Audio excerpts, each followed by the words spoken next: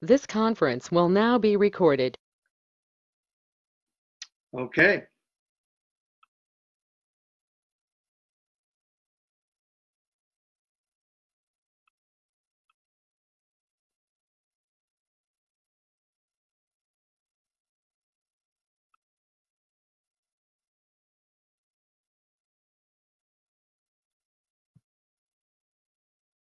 Can everybody hear me okay?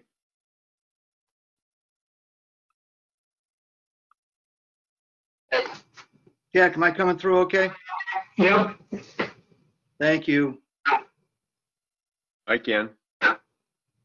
Okay. Uh, I'd like to convene the uh, August meeting of the Harwich Golf Committee and uh, thank everybody for attendance. And uh, just a couple of footnotes before we start uh, with the agenda and the director's report. I'd like to welcome Paul White. Uh, We're going to cover that on the agenda uh, shortly. Uh, He thought he was retired, but uh, I, my arm twisting was successful. So welcome aboard, Paul, and uh, we're going to wait to hear from you in a, in a few minutes. Uh, Also, it's available, people. The annual town report is available at town hall locations uh, in the community center. Uh, It's very informative. It has a recap of uh, the golf department's uh, submission uh, to that town report. And uh, although it's not going to be accomplished today, I I really felt compelled to bring this up. There was a great article in the Cape Cod Times two days ago about the difference between vision statements and uh, statements as far as organization is concerned. Uh, I'm going to challenge everyone on the committee to uh, help develop a vision statement, uh, which is somewhat different than a mission statement. Uh, Basically, I I like to envision it as uh, where do we see Cranberry Valley in roughly five years? Sometimes they project further than that, but uh, I'd I'd like to try to work within that parameter of five years. So uh, that's something that will be on the agenda for uh, the next meeting. So without further ado, uh, we'll go to the agenda and uh, I- I'd invite Roman to uh, share his director's report. Everybody has a copy of that on the PowerPoint presentation. Roman, you're on.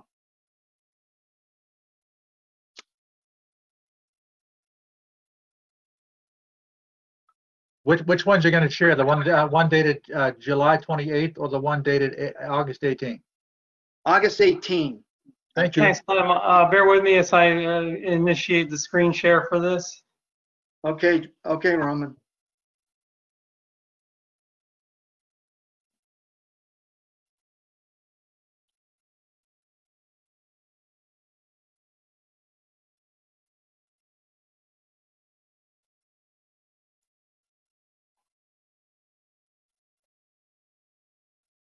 Okay, how's that? Can everybody see that? It's perfect, perfect. Okay.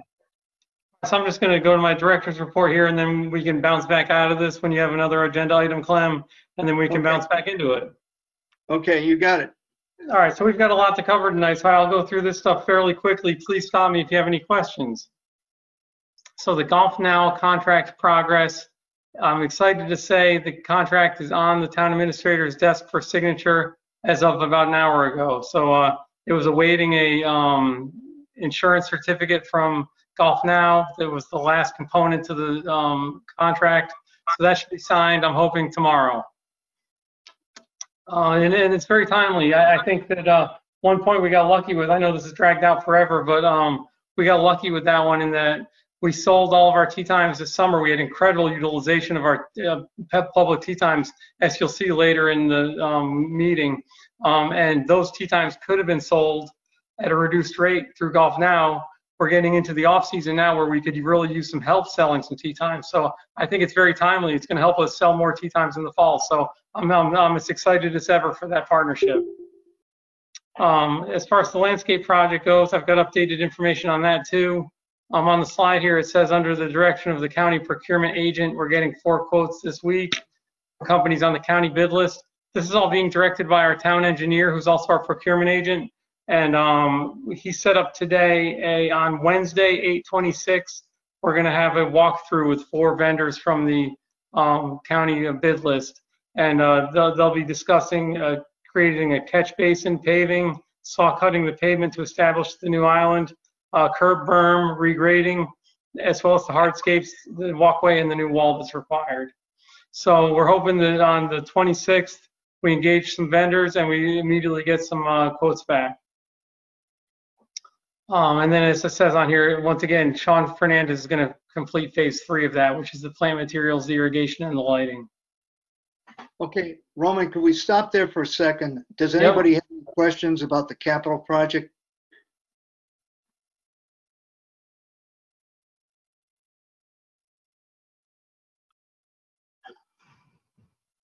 Any, anybody again? Nope, all set. Uh, One, one thing, uh, uh, people that uh, I, I believe I supplied everybody with, uh, I, I was successful in reaching out to Green Skies as far as the solar component is concerned. I, I hope everybody saw that schedule uh, that they provided us with, and uh, it's pretty exciting. Uh, A week from now, they're thereabouts, uh, they should be starting the initial phases of, uh, you know, solar uh, installation. And uh, that'll carry through uh, into September and October. Uh, And it, and it helps to trigger other aspects of the project, the setting in place of the chargers and, and allowing us to shop out the RFP for the carts as I see it. So any questions there? Yeah, I have a question on the landscape project. Yeah, John? You know, the last time we met about four weeks ago, I thought that was in the process of getting done, and here we are four weeks later, and we still haven't got the bids yet. Yeah, that's true, John. This has been running slowly under the direction of the town engineer and our, our, I think really it's a hard project to run mid-season. Our, you know, this requires Sean Fernandez is acting as a general contractor basically on this. And as I'll mention later in the report, this has been one of the most challenging seasons we've ever had as far as operating a golf course and um, maintaining the golf course. So this is uh, happening slower than anticipated. I, I have a question. Clem, Yeah, go ahead, Jack. the thing you sent out said the, um, the target for completion was December 7th. Right. And I assume the, um, based on, on that, uh, based on past, ex- uh, situations, I think Romans indicated the, the wiring is not gonna be done till after the electrical is in. Is that correct, Roman? Yeah, so Jack, well, uh, you're you're exactly correct. Based on this uh, timetable that that's a little bit delayed from Green Skies, I've engaged the town engineer to request that um, his advice on uh, moving up the uh, charger grid. He really wanted to do the charger grid after the interconnection happened because that would, in, in his eyes, that would really give the charger uh, grid elec electricians something to plug into instead of just having dead connections awaiting the, the uh, interconnection from Eversource. But um, based on this timetable, I'd prefer to see the charger grid sooner than later. Go ahead and have them put it in there so when the interconnection happens, perhaps we can re-engage them to come back to actually finalize it. But um, they, when I saw that um, timetable, it, it's a little more delayed than what it was expected and what was originally planned. Um, I want to move up the charger grid uh, bid process. But do you have any commitment to do that? So I, I've requested that from the um, town engineer who's putting together the bid package, and I have not heard his advice yet back. His advice was to do a second, but I think based on the timetable, I rec- I requested that we move it up, and I have not heard back yet. I guess the reason I'm hopping on this is, uh, to me, it's not inconceivable that we won't have electric carts next year either. Well, that, that's why, that's why I'm, that's the point I'm gonna make to him. I mean, if the interconnection happens in November, uh, according to this plan, and the charger grid is in place, if the electricity is good, then, then the electricity is good to go in, in November, and we go with this, um, But the ready to schedule, go. the schedule that Clem put out said December 7th is who was done. Right. So I think if we have the charger grid in place and that interconnection happens by that date, uh, we're, we are good to go with plenty of time on the golf carts. I don't want to engage the charger grid after December 7th. So I, I do, that's what I reached out to the engineer to say. I think it's critical that we move up the charger grid ahead of the interconnection from Green Skies and Eversource. What, uh, okay, question on Eversource. Um, you talked about what the solar people are doing, okay? What is the schedule for Eversource to complete their work to connect, so we can connect to it? That, that's, what that's the final phase of what the, um, solar team is doing is, is interconnecting with Eversource. So that all happens together. So someone's digging a trench, okay, and putting that stuff subterranean, okay, while this is going on, or is that after the fact? The, uh, this is all part of the Green Skies infrastructure, and then um, they're they're putting in, they're footing the bill for it, and uh, in coordination with EverSource, they've got a work order in with EverSource to coordinate their work together. So when we have the electrical stuff set up inside the cart barn, we're ready to connect. That, that, that means that Eversource should be, have their work completed at the same time Everything should be done. by Uh, when, when, when we hit that December 7th date, if that all goes according to plan, and if we have the charger grid in place, that should all be connected, or it may require one easy connection of what the charger grid electrician or electrical team previously did, connecting to what Green Skies and Eversource is- is going to have just completed on December 7th. I got my fingers crossed. You can't see them, but Uh, Believe me, I got them too. man, unbelievable. We all do. Jeez. Okay, thanks, Roman. Okay. Uh, The next Okay. topic in your So report, I'll, keep- I'll keep cooking through this here. Uh, so when phase three began, um, we, that was the return of league play, which I think has been very successful. Uh, great to see all the members out playing again and getting, getting their guaranteed tee times on Tuesdays, Wednesdays, and Thursdays. Um, due to the COVID crisis, we have a nice upgrade.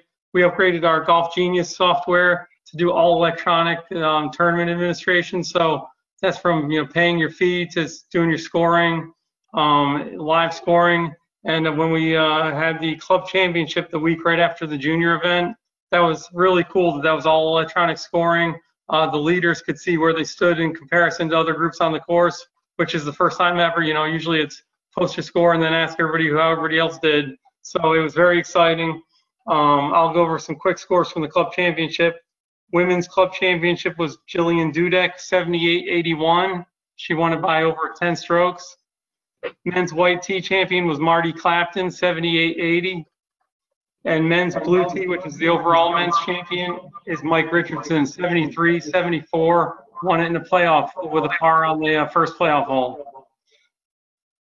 So that was very exciting to implement the all electronic scoring through Golf Genius. And then um, um, as I move down the list here, um, hey Clem, you might want to mute everybody again. I'm hearing a lot of feedback.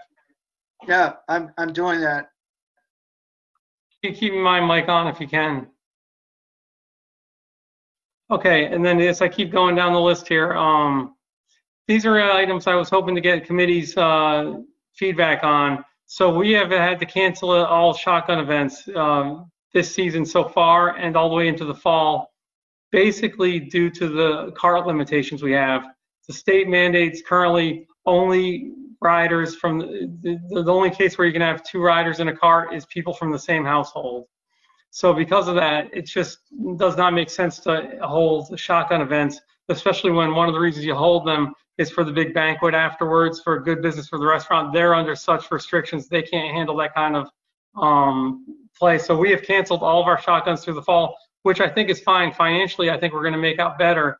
It's a, the restaurant's going to take a hit because they, they really make out in those events. But when we have just normal days of selling tee times, we're actually doing better than when we have shotguns. My question I was going to have is um, at least one of the the events, um, which is the Bobby J, which is the uh, Harwich Fire Association. They really would like to do something for the fire association, so they've asked me if they could negotiate um, a day after Columbus Day, um, where they would have a Bobby J modified with tee times. And, uh, you know, I wanted to get the committee's ideas on um, what you think about me negotiating rates, because it is a committee policy that we've been following ever since I've been here. Um, that is uh, charity, local charity events pay half greens fee and full cart fee. So when we have events such as the Harwich Fire, Harwich Police, um, Monomoy Boosters, um, they all, all are paying half of the daily greens fee plus a cart fee. Would you be, uh, would you consider um, me negotiating though that on a tee time day for such events? Uh, Roman, uh, absolutely. As far as I'm concerned. How about the committee at large? I would, I would approve. I would too. Okay. And, and Roman, uh, just to make it formal, uh, what I thought was, uh, we can bundle, uh, your request into a motion, get it seconded and approved, uh, as far as uh, this topic's concerned. Uh, you know, the charity rounds, I, I thought the Bob Miller request, uh, and there was one other thing as well, 10-minute tee times. the 10-minute tee times, yeah. So Great. once, once we go through those topics, uh, if, if you're amenable to that, uh, I'll entertain a motion and, uh, we can get it seconded and get that approved for you as a bundle, Okay? I okay? find that very helpful. Thank you. I've got a So- question for Roman. Fire Um, away. you're talking about, you talked about negotiating the tee times. Um, uh, how about, what- how, how about the cart situation? Are we gonna have enough carts? So yeah, John, when we run uh, tee times, we've been doing okay on carts. So what we, I could schedule a tee time event much better than a shotgun.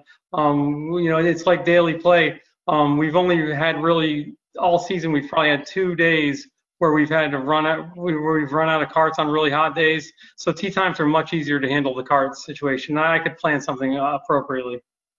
Thanks. And really, we're only talking about a few events. Like I said, the Harwich Fire is the only one that's had the idea to do it. Um, in the fall, we have the Monomoy Athletic Boosters that normally do a fundraiser. We have the Pals for Life, which is, you know, local uh, restaurant charity. And um, that's all we have on the calendar still for um, charity events. So we're only talking a handful of events. Okay, Clem, I'll move down to the next one. So charity rounds, I appreciate everybody's feedback on this one because basically this topic is, I, I was given pretty wide latitude by the town administrator when I first started that um, I could give charity rounds to local fundraisers um, if they affected the local community in a charitable way, just that generally. And so I've given out Monday through Thursday foursomes uh, based on request. Uh, you know, as, as they told me, no, non-discriminatory. I'm not picking some and not picking others. We, we've done them basically across the board if they request if it affects Harwich, the Harwich community in a charitable way. And uh, we have not ever been overwhelmed by these. And in fact, I think they're very good promotion for the golf course. It's nice for us to be involved in all these good events. Based on the incredible demand this year, I did not find it appropriate though to start handing these free rounds out when our members can't even get out, when we can't get enough paying public. So I've I've just across the board stopped giving out the charity rounds and said, based on the incredible um, circumstances this year and the incredible demand, um, I'm unable to do charity rounds. I'd love to get your feedback on it because that's just a personal decision I made. And, you know, I'm way, I'm trying to weigh the black eye the golf course will take from this because, you know, a lot of these charities rely on this for prizes and for fundraising. But uh, in the same token, I, I just didn't find it appropriate when so many of our members can't get out and so many paying public want to pay to play to give out free rounds. I'd love your feedback. My feedback is that I agree with you, Roman, that we should have no charity events this year based on the virus situation. Anyone else? Could these chari, could these charity rounds be given out in the fall, uh, when, when demand is lower for the course? So John, what, what I normally do, and again, I can always amend this because like I said, I don't have very strict rules on these. I normally give them out with a, um, at least a year ex- expiration date on them. Um, to, because a lot of times people that are bidding on this stuff that live off Cape, whatever. So, um, and you know, this is one of the cases, John, where so many of these don't even come in redeemed. People use it more as a way to give to the charity. So um, if we did it just for the fall, I think it'd be too limiting to the charity. It's, a- you know, I, I'd want to see it with at least a one-year expiration date on it. I had a Given that, I, I would support what John said regarding, this is an extraordinary year and we have to take extraordinary responses to these kinds of things. Okay, Jack Conley. Roman, are getting requests? It seems like most charity events are, are, um, being canceled anyway. Yeah, I, I've got, I mean, I, I just very recently got one for the Knights of Columbus, which is from a member of ours. Um, I, I, I get them all the time for scholarships that, you know, affect local, local, local Monomoy students that are uh, applying for scholarships. So, um, they, they go on throughout the year. Martha, did you have a question? I, I did. I, I wanted to know how many events usually we give um, a foursome. I mean, is it 20 or 10 or, If I had to guess, Martha, I'd say it was 20 to 25 in a, in an average year. Wow. okay. We, we, we probably see a dozen of them redeemed. A lot of them go unredeemed. Okay. Any other comments? Clem, um, if I could. Yes, Um, go ahead. Roman, number one, I, I, I support the decision you felt you had to make. I think it makes sense under the circumstances. Um, you know, but it is probably something that we should look to reinstitute when things normalize, if they ever do. Um, because I think it is probably a very positive thing to do, but I think you should have the discretion to decide what's, uh, what's in the best interest. Thank you. Thanks, Paul. Okay, moving on, uh, the Bob Miller request from, All right, very quickly, I, I think everybody found in the packet the request from Bob Miller. I thought it was incredibly fair. I don't see any need to negotiate beyond what he offered, which is $2,700 for the season. That's more than just about any PGA pro is paying at a municipality across the Cape for a full season anyway. So it's a, it's, it's a good chunk to, to pay for a very limited season. And he is very limited this season. Uh, as he mentioned in the letter, golf instruction took a long time to get going this year. So I definitely uh, endorse the idea, uh, but I'd love the committee feedback. I agree. Very I agree. fair. I agree. Roman. I agree. Roman, but you're also gonna consider offering something similar to Ron? Yep. So uh, I'm, I'm glad you mentioned that, Jack. So um, I did the exact same thing after our last meeting. I reached out to both of them. Ron, in in good faith, gave a $2,000 rent payment. So he go went ahead and put a deposit down or a, a incremental payment for his rent for this year. And he said he would like to delay any type of um, request to the committee um, for rent this year until he sees how the season actually works out because he had no idea how to predict what the rent should, what would be appropriate to ask. So he's paid two out of his 10,000 so far, and he would like a little more time to um, see how things shake out before he makes a request. Okay, thank you. Okay. Okay, Okay, but if I can, if I can, Clem, I, this isn't necessarily appropriate. I got, I got to look um and see what we legally have to do. But I think it was in that letter from Bob Miller. He's he's followed up with me also. He wants to immediately re- re-engage for three more years, which I think would be wonderful. I I I I, I um I think that he runs a great program. He's got five different pros teaching for him right now. With my busy schedule, I haven't given a single lesson this entire season. I'm, I'm I've just been so busy. I haven't given lessons. Um, our head pro Dick is booking two to three weeks out right now. So there's a ton of demand for instruction. Um, and I think Bob's team with the five high quality instructors he has would be the perfect fit to just keep on going. They've got, they've built such a nice operation at Cranberry Valley. I'm afraid it'll have to be a formal um, posted bid process, but uh, I just wanted to throw that out there at Bob's request. He, he would immediately like to re-engage in talks for a, th- a three-year extension or a, a new three-year contract.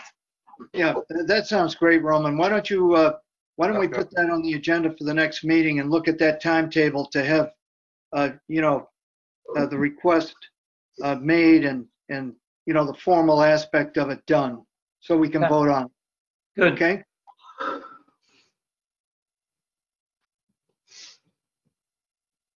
So we can move on to the uh, uh, rest of the agenda, Ron? Sounds good. Okay, uh, as, as I Ron, did you indicated, make a motion on that? You, we need to have a motion.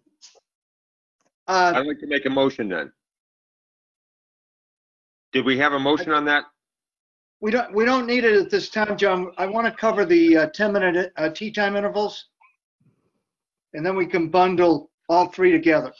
Okay. Okay? Uh, Yeah. Uh, I included some of the materials. I know there was uh, a carryover from the aborted July meeting.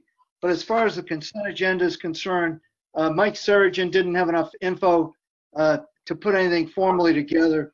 Uh, We'll have that in place for the next meeting. So uh, we'll move uh, tabling the consent agenda to Hey, Cle- Clement, do you mind if I interrupt you for one second? Yep. I don't mean to do this. I'm sorry.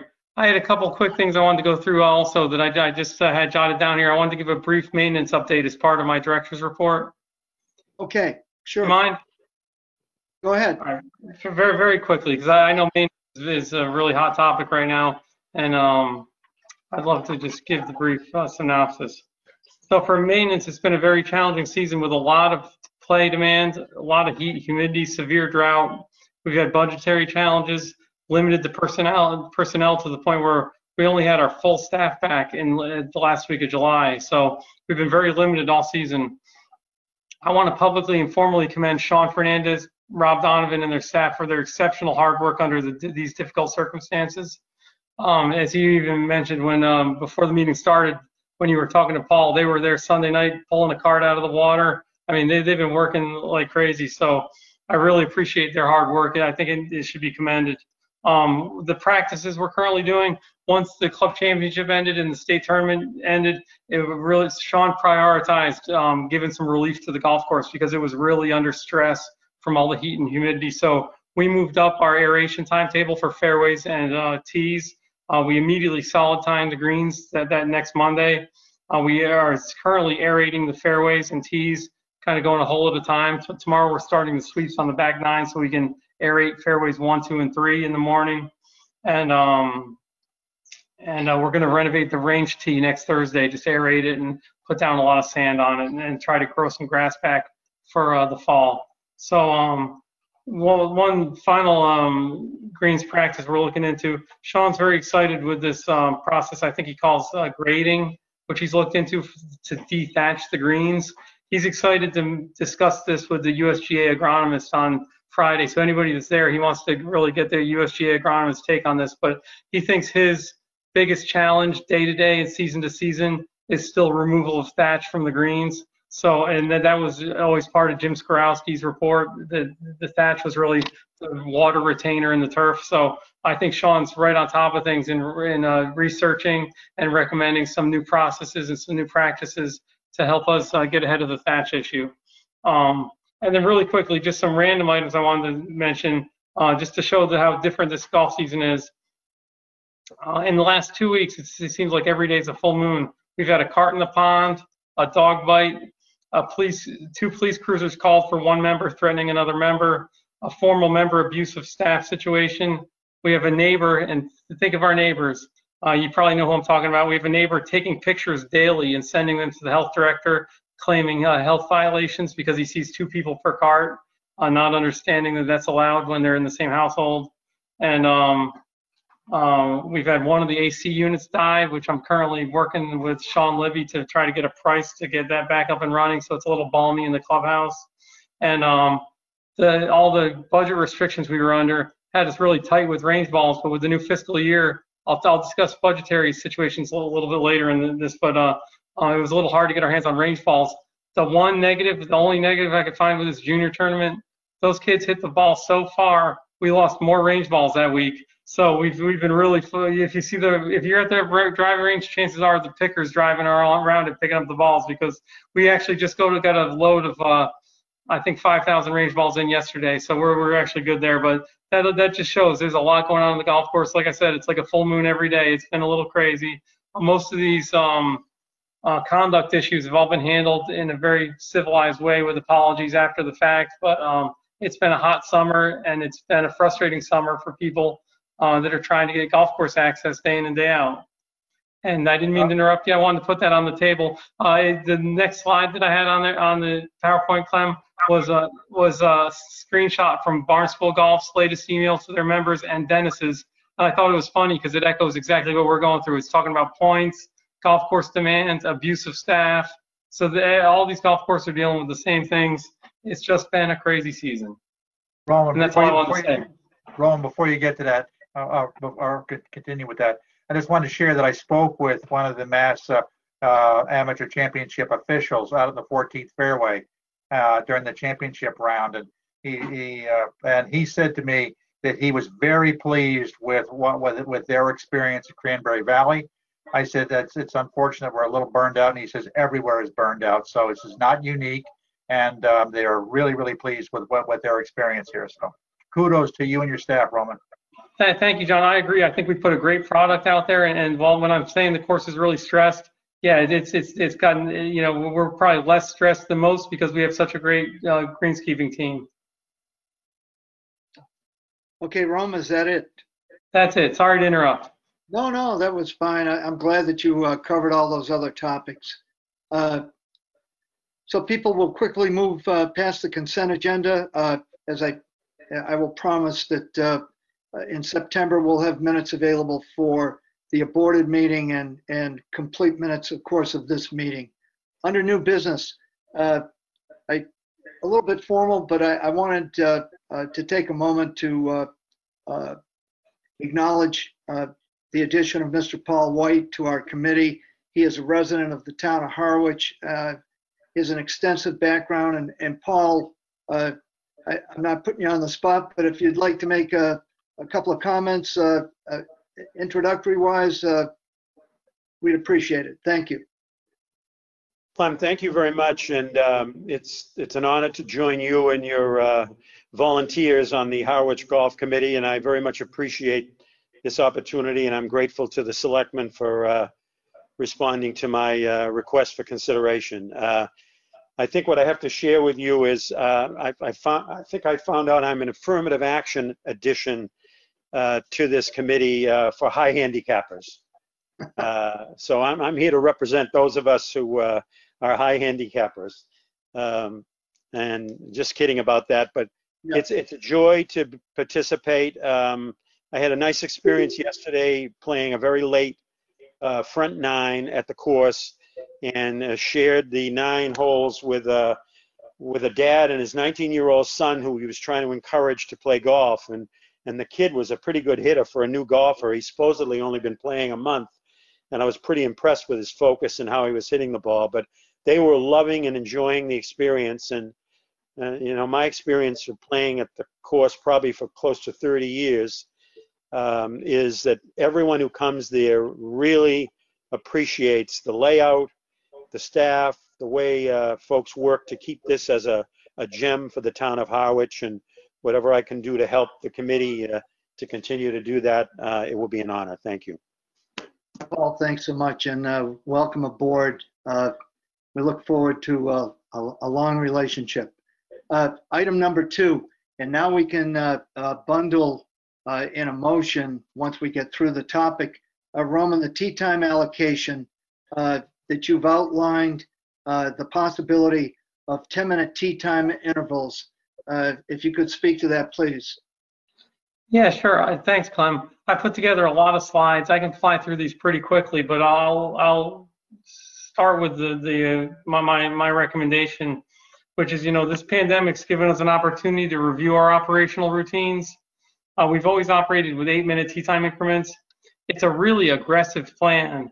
Um, the golf course really doesn't allow for us to have a good flow of the golf course with eight-minute increments anybody who's played the golf course in the summer knows you make it to the fourth tee and you're and you're backed up.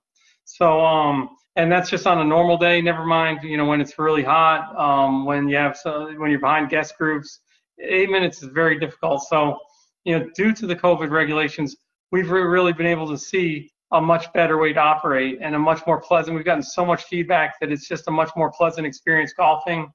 Um, uh, the, the, with with eight minute tee times, there's just too much congestion on the course, congestion on the course, and it makes flow poss- impossible to maintain. So currently, the state regulation says you must ensure a suffi- sufficient gap between group tee times to allow for social distancing.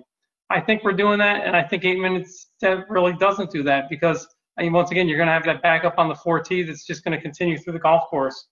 Um, I don't think in the long run, eight minutes does us any good necessarily. So, what I think, eh, I'll try to convince you with the research that I've done here, is that there could be a way, if we finish the season with 10 minute increments for tee times, we show an increase in revenue um, because currently we are where we're, oh, we're utilizing our non-member tee times better than we ever have in the past. And a slide will show you we're outperforming last year with less non-member tee times. If in the rate and fee season this fall we choose to that we're going to go forward with 10-minute tee time increments and we're going to consider those premium tee times compared to our competition, I think it gives us the opportunity to outprice our competition. And then some of the slides coming up will show what the USGA says about this. But you know, can we raise our greens fees $10 across the board if we're offering a four-hour round at any point in time? I know that's hard to say because you know, coming out of the hot and humid days of summer, there were some days where we still, even with 10-minute increments, had some slow play days. But in general, we've had a much different experience on the golf course. If it turns out we can charge a premium for those tee times, I think that this, the end result could be more member tee times because in the, a smaller amount of non-member tee times, we'd be able to pay the bills, allowing for more member tee times. So, you know, by ex- expanding the increments, possibly we could expand the member tee times as well, if, if it's a plan. So that that's that would be my suggestion. And um, as I go through these slides, um, I'll, I'll, I'll I won't read through them because it'll be pretty long, but I'll hit the highlights. So the, U- the USGA had a Pace and, and Innovation Symposium to find out the financial impact of pace of play. They did this in 2016. I picked out a few items on this. Basically, when they spoke with golfers, they found out that speed of play is the number two factor when when choosing a golf course to play um, behind course conditioning. I think we're all pretty fairly confident that our course conditions are, are regularly very very fine compared to our competition. And speed of play, when you talk about pace of play, the most important factor is the tee time increments to pace of play. Um, when they ask golfers, will they pay a premium to pay a, play a faster golf course that has a better speed of play? Most golfers would pay, on average, 9.1% more more money in greens fees to pay to play a golf course where with a speeder pace of play. Now this this slide right here just uh, speaks to what demographic and golfers over the age of 60 are less likely to pay more, and younger golfers are more likely to pay a lot more.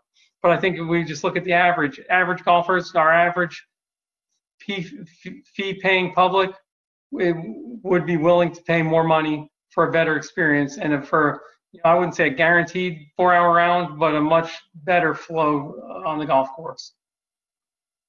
This I think is a very important um, slide here, and it breaks down golf courses that have seven minute, eight minute, nine minute, and 10 minute increments. And if you look at the bottom of the chart there, it says peak season, weekday, weekend utilization of the golf course. Look at the 10 minute increments. They, they, they have much better utilization of their tee times in both non-peak and peak season. So, you know, this data says, and I know we're in demand. I know, I know we're not the average golf course that's empty and not in demand, but when you have 10 minute increments, you're more in demand.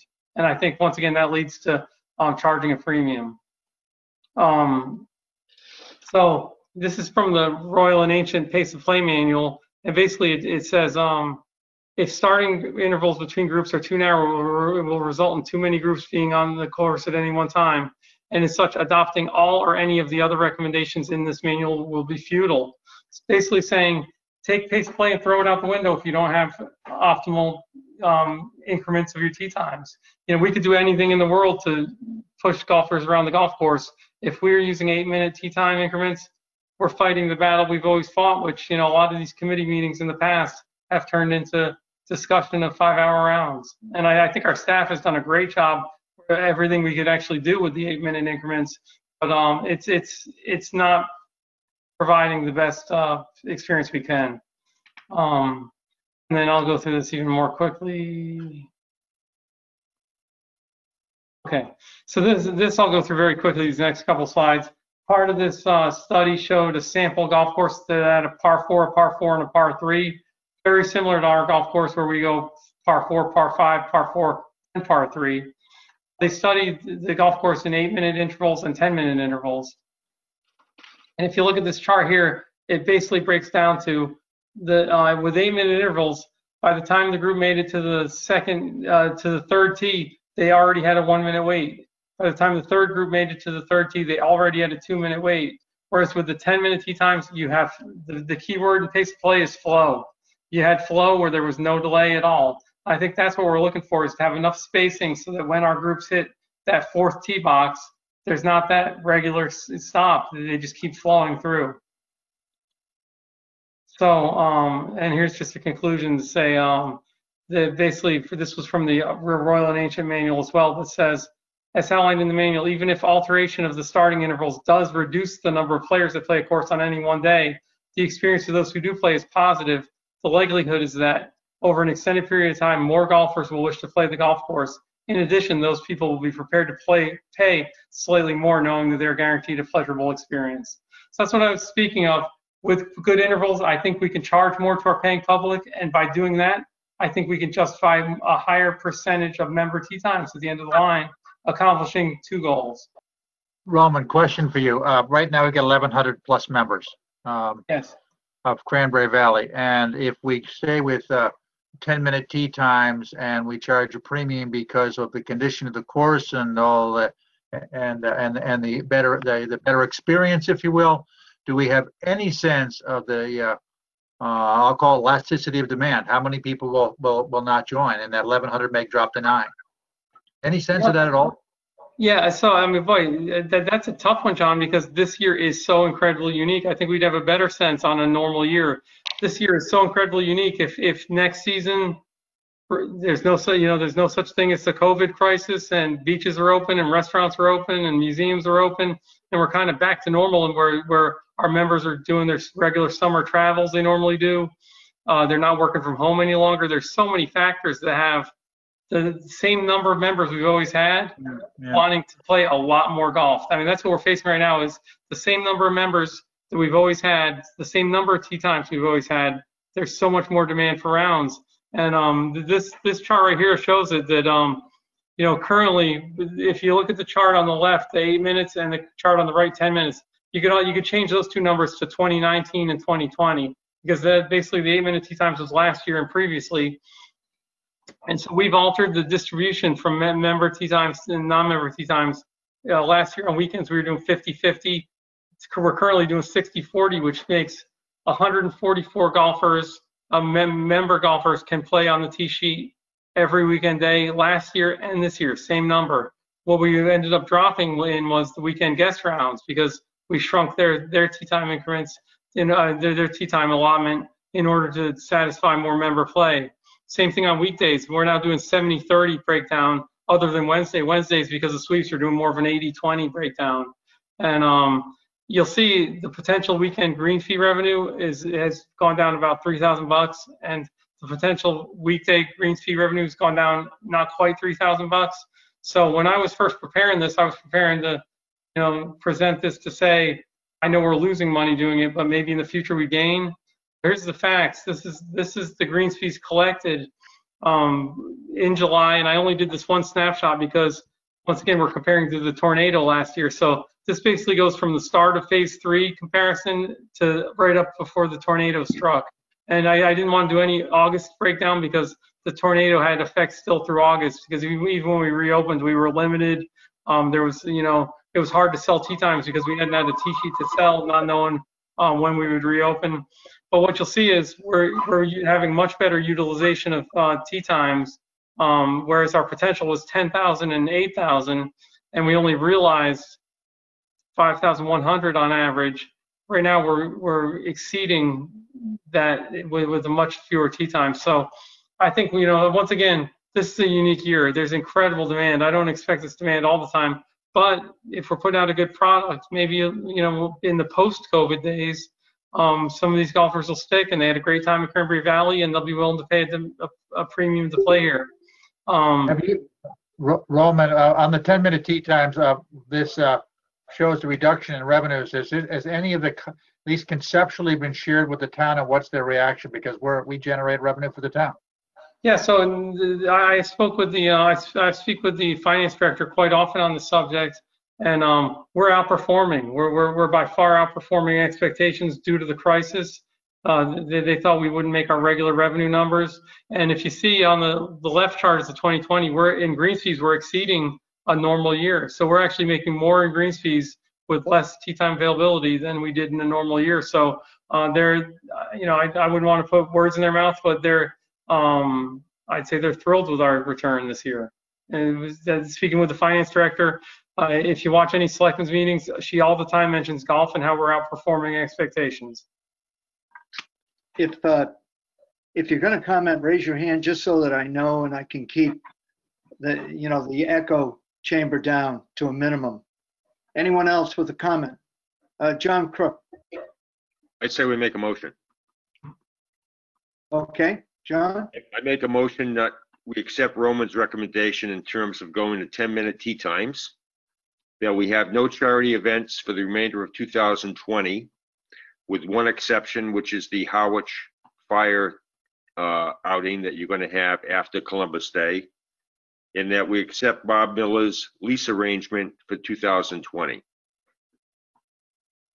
John, thank you very much. I need a second. I second that motion. A second from John Wheeler. And uh, discussion. Uh, Jack Conley, Okay. Uh, Clem, I I just thought I heard Roman mention there were three or four groups that were having charity events. Is it only one, Roman?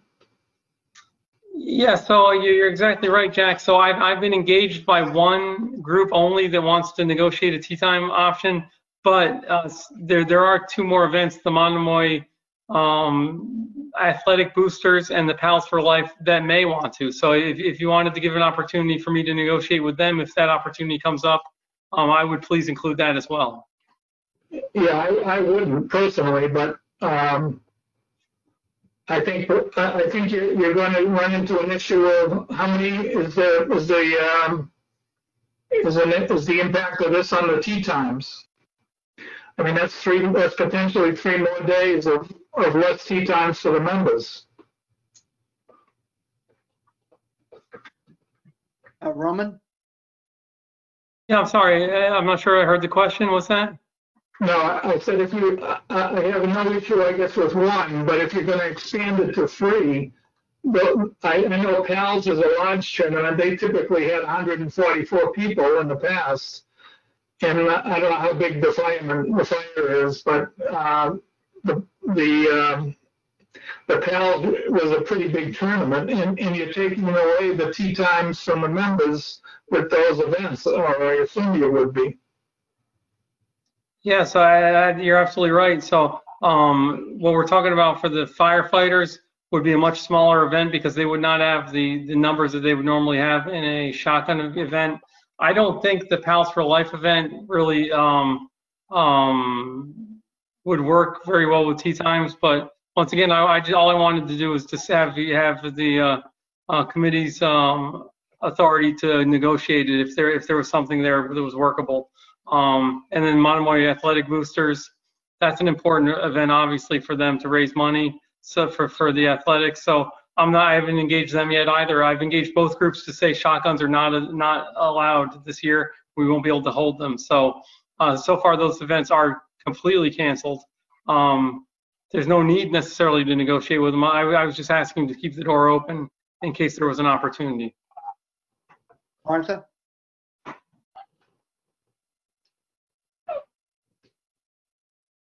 Go ahead, Martha. just go with the one with the firefighters. I would not engage in the other two that have been much bigger in the past.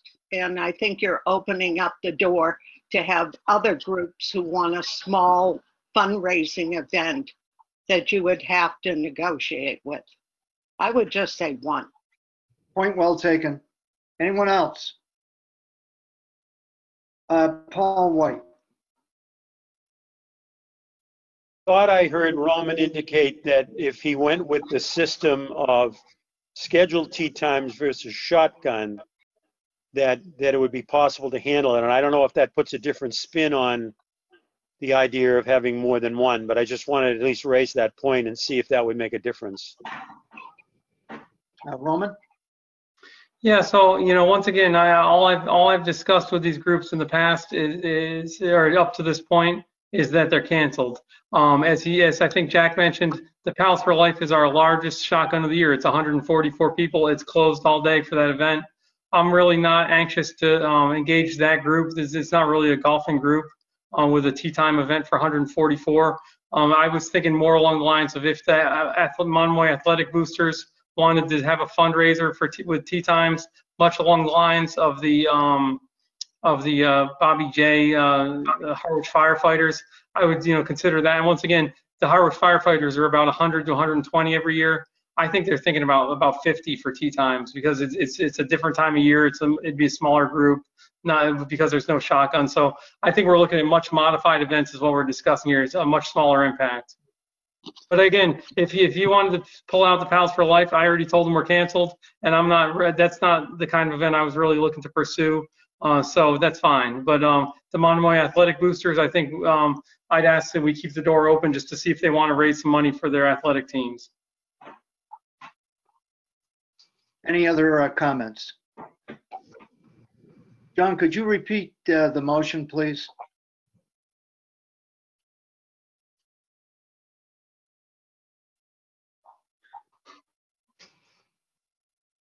Have, that we have no charity events for the remainder of the season 2020, with two exceptions. One exception being the Harwich firefighters, and one leaving open a tournament with the Monomoy Athletic Boosters. In that we accept Bob Miller's lease arrangement for 2020. Okay, uh, I believe we're ready for a vote. All in favor? Aye. Aye. I, Raise your hand, please. Okay, it's uh, unanimous as I uh, review the vote. Is that correct? No abstentions? Thank you very much. Roman, I hope that uh, uh, helps you uh, moving forward. Thank you very much. It certainly does. I appreciate the thoughts and I appreciate the motion. Okay, uh, number three under new business.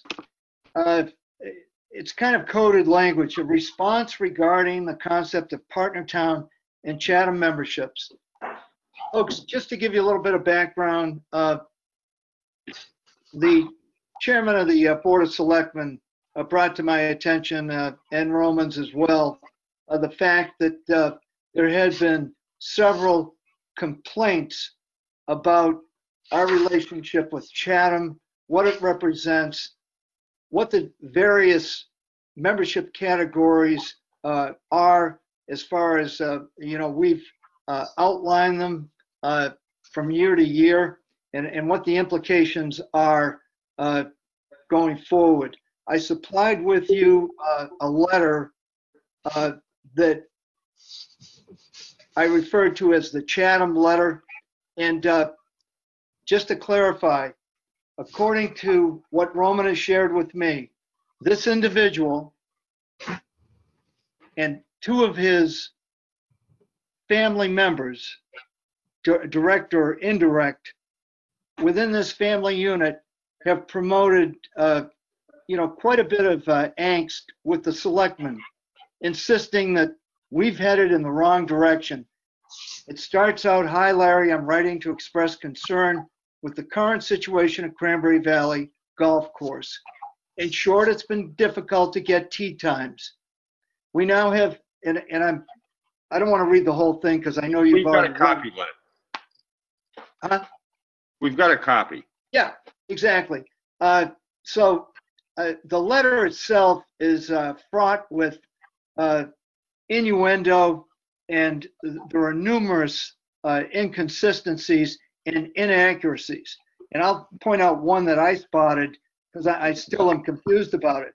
There's a reference to resident taxpayers picking up a $500,000 deficit. I have no idea what that means. And, and that's why I want to open this up to uh, discussion. And uh,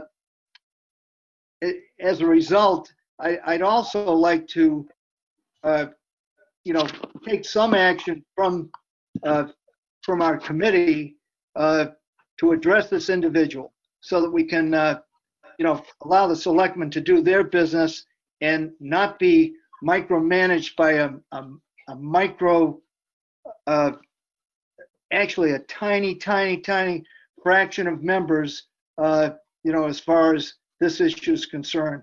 So I would like to open it up for discussion, uh, and I'll try to, uh, you know, What's the- uh, mo- move as carefully as I what's the- yeah. What's the, huh? what's the gist of what this person is asking for? Wants Uh, tee- Roman? Yeah, so um, I'll I'll give you a little background very quickly. I've had to um, address three separate formal letters to the selectmen. The selectmen have asked me to answer all three um, and copy them on the answers. Uh, I'm sure there's discussions going on that I'm not included on, but these were all three members of the same household, like Clem said, a, a brother, a sister, and a brother-in-law. Um, and general, there's a lot of taking stabs at different parts of our operation. What they've really nailed down on is the Chatham membership. They, they've, in certain letters, they've said they think it's illegal that we offer a special deal to Chatham. Uh, now, the one thing that I, I would give a little sympathy to, because I know where this is coming from, tee times have been incredibly under demand uh, this season. And so this is coming from Harwich residents that can't get tee times and are having a difficult time getting tee times. And they think that, you know, our over 200 Chatham members are taking their tee times and then, and they're not offering us, you know, shellfish licenses at discounted rates and all these other things that they list in their letters to the selectmen. So um, that's the gist of it. They want to, this particular person is championing uh, getting rid of the Chatham discount. Uh, Jack Conley? Yeah, I- I've been in copied on some of his letters, or some of, some of the individuals' email. But one, one of the issues, um, Roman, and, and to me, it's, it's really a, a fundamental issue. According to him, in his, with his latest thing, he mentioned that there was a five hundred thousand dollar deficit that the golf course is operating on. And, and when I replied to him about that, he indicated that he's been told by the finance committee that the, the unspecified costs that are associated with running the golf course, like benefits, medical insurance, so on and so forth, um, are amount to about eight hundred thousand dollars a year. Yeah, I can address that, Jack, because um, I spoke with the finance director yesterday about this specific topic. Um, that exact email went to Ed McManus, our liaison, who went down to Yeah. and had a meeting with the finance director on Saturday, I believe, Friday or Saturday, and uh, they found no merit to what his claim was. You know, I, I think I provided this committee last year with a spreadsheet that showed, you know, when you apply the golf course debt when you apply the um the, the old debt, we're we're taking care of any new debt we've taken on in the last decade, but there's debt still from 2007 and 2000 that's coming off the books in the next few years. When you apply that debt and the, some of the employee benefit type items, I think that spreadsheet had us at about 2.1 million dollars, and we brought in I think last year 1.895.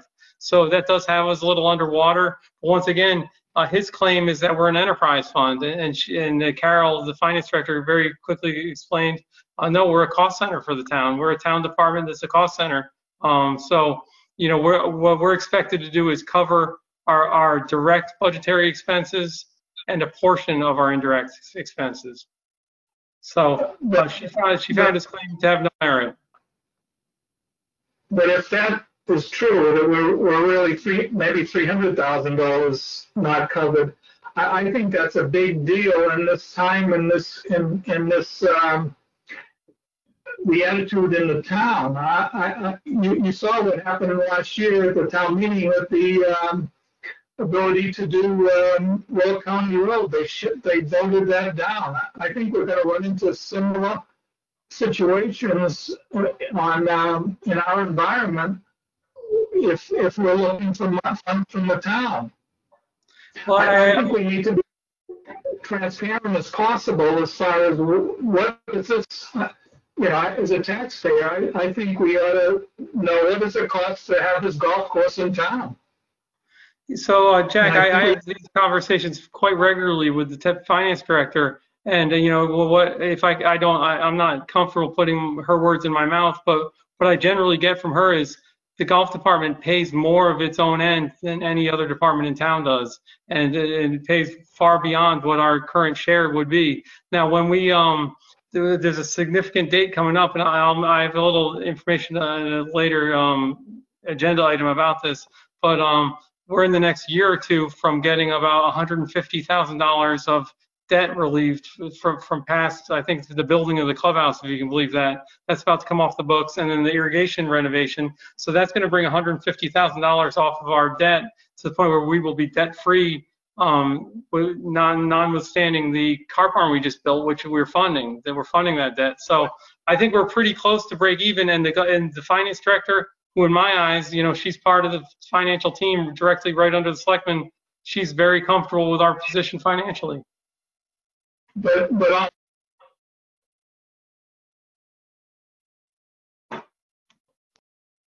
I don't think that has been stated to this individual in the, in the response in the letter. At least I didn't, I didn't see it. Um, But, you know, be as, as candid or as direct or as transparent as, as we can regarding, you know, are, are we making money or, or, or is it costing us money?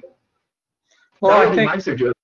I mean, all right, but I, I think that, uh, her response that she gave to me the other day is, what, what we are is, um, we, we are not an enterprise fund. We are a cost center for the town. That, that we're a cost center for the town that pays most, al- almost its entire bill. And, but, but, but, um, we, we cover our direct expenses and most of our indirect expenses. And the, the town, from all indications, I'm receiving from the finance department every year when we get our budget approved, and from the finance director is, we're doing, it we're covering an, an appropriate amount of our bill. I'd like to hear from uh, other members as well. And uh, let me just interject this, Jack. A lot of, a lot of what I read into that letter is repeated rumor and innuendo. Uh, This gentleman is just flat out incorrect about the realities of our financial position as a golf operation. And if anything, we return an excess of uh, money to the town after all expenses. I've heard that rumor for the last 10 or 12 years. All the fringe benefits, everything's included when it gets expensed out and the bottom line is reached. So, uh, other comments from other members? John Crook, Well, I mean, uh, this has always been one of my pet peeves that, you know, obviously we run Cranberry Valley, we've got to run it as a business. And when you take a look at the revenue and subtract what our costs are from an operation, we're returning to the town, the general fund, on an average, anywhere between three and four hundred thousand dollars a year. So I think we're certainly doing our part to cover any debt that we have to the town. Uh, My other quick response would be based on, I took a look at the uh, rough draft that Roman had uh, put together to this individual that was complaining about the tee times and the Chatham membership. And personally, this is my own personal opinion, I think we're spending way too much time with this individual. I would not give him a letter that detailed in terms of what's going on right now. I would basically tell him that the Golf Committee discusses these topics on an annual basis. Uh, Tee times, obviously, we've had a discussion on that today, but tee times are part of that discussion. The membership rates and fees are part of our discussion that we have every fall, yeah, for the coming year. And uh, really, when you go back to the history of what the Chatham membership has been, that was really predicated on feedback from the selectmen. And we always kind of fought that a little bit in terms of the differential between Harwich and Chatham being none, really. And we always thought there should be a differential. But we certainly discuss that every year at the rates and fees meeting. So personally, I would just say that uh, the golf committee discusses these topics on an annual basis. That person is certainly welcome to come to that meeting in October when we discuss rates and fees, memberships, Harwich, Chatham, Eastham, Orleans, non-resident, whatever the case may be. So I just think we're giving him way too much attention with this particular letter. And once again, that's my own personal opinion. I'm sorry Hey, about John, that. John, I can respond to that. Um, that, you know, I used this letter, this, this was, uh, the, the town selectman, uh, in particular Larry Ballantine, asked me to respond. So I used this letter to, as a springboard to highlight what we're doing and to, to, you know, I, I used it more to explain to the selectman what's going on than, than this gentleman. And I did hear that the, the response that came out of, uh, Ed McManus and, um, the finance director's, um, meeting on Saturday to discuss the finances and the merits, what he said, you know, they, they both, I think, are kind of along the lines of what you, what you're saying, where they, their, their, um, their response was, at some point, you got to tell him, to go find another golf course, because he's, he's just looking for trouble here. I'm sorry, uh, I'll take, uh, in order, uh, uh, John Wheeler, I saw your hand up and, Okay. uh, John, if you would. Okay, um, I'm- I think I'm looking at the, at the correct letter, but it talks about, I looked into the particular situation you mentioned, to see that you have not played a weekend Friday or Sunday round since June 20th. But then, then you said your six rounds played over the previous 14 days do hurt your priority. My initial reaction is, if he played six rounds over two weeks, I don't want to, I don't want to hear about this guy. Hey, John, he played 18 times in May. We opened, we opened on May 10th. He played 18 times for the, uh, just about every day in May. And when I I think wrote this letter, he was, when I wrote this letter, he was at 30 rounds. I think, I think John Crook is right on, right on with this guy. Uh, Steve Bellata. Steve, I, I agree with, I agree with John as well, and, and, and the other members that have said that. I, I mean, when I read it, what, what my sense was, and this is just one person impression, one, one person's impression, is that eh, this family is, is questioning why we are giving the discounted, if you want to call it, rate structure to Chatham people. And, and I think that's the root, the, the, the root of, of his frustration. And for whatever it's worth, it's a frustration for me as well. I mean, Cranberry Valley is owned by the town of Harwich. The residents of Harwich deserve the best break we can give the tax-paying public in the town of Harwich. For the life of me, I can't figure out why, other than history, we should be giving a rate that's different for Chatham than it is for other towns like Orleans and Eastham or anybody else who isn't a taxpaying resident of Harwich. And I don't, I'm not suggesting that we jump all the way from the current rate structure to to match the Eastham one or the or the non-Harwich ones, but I think we should have a strategy of moving towards that. There's no reason, logical reason uh, that I can think of other than history that Chatham should be afforded the benefits of a rate structure that's similar to the taxpaying public in the town of Harwich.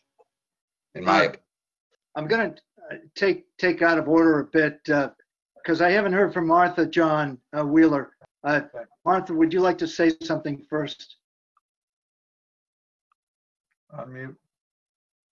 Steve and John Crook, I totally agree with what you say, and I feel very much the same way. And we're not the only ones. I mean, there are so many members, particularly, I think, this summer because of the virus and the limitations on tee times for members. But we have discussed this at every single meeting in the fall and we make the recommendations to the selectmen. And it's the selectmen that have chosen to choose Chatham as almost an equal to Harwich. And it goes back to, it can go back to the, uni- the schools becoming united. I- I'm not really sure why we chose Chatham, but the selectmen for some reason have.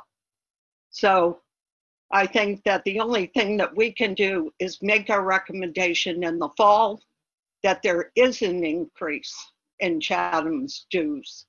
Um, so that the members know that we're listening to them and are responding.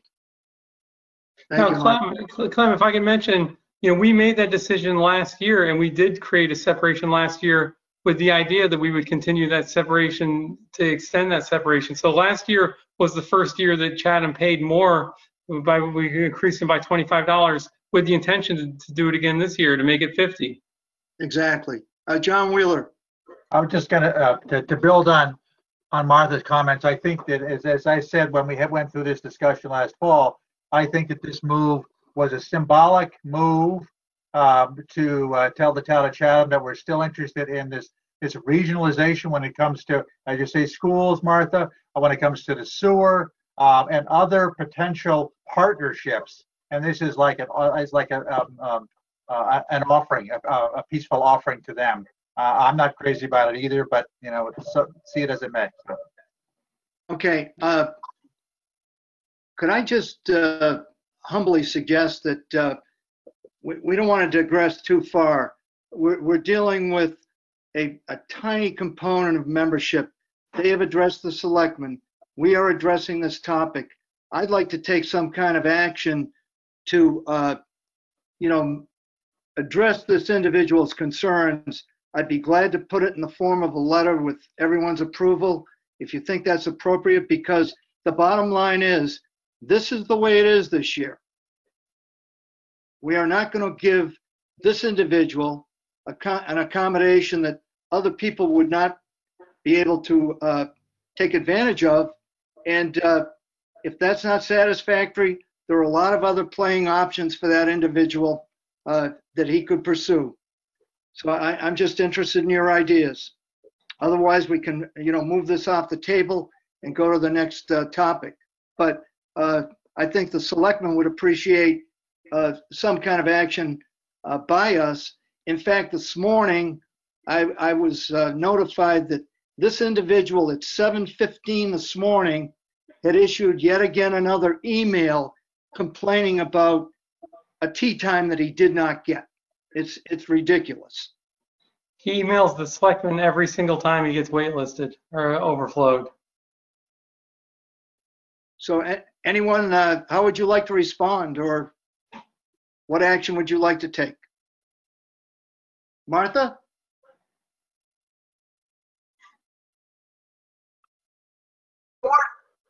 Make it short and sweet. You don't give them s- too much information. Just keep it short. Okay, uh, could you repeat that, Martha? That we lost the front end. I'm sorry. I agree with what John Crook said. I think we should not give him so much information. I would make it short and sweet. Thank him for his input, that we have discussed it at the golf committee, and we will discuss fees and dues in the fall, period. Could you put that in the form of a motion, Martha? Um, Could I turn that around and say this is my motion? That I think that we should respond in a very short, succinct way, thanking him for his input, that we have discussed it at the golf committee. We will take this up when we discuss dues and membership in the fall and present it to the selectmen, period. Okay, thank you. I, I would need a second.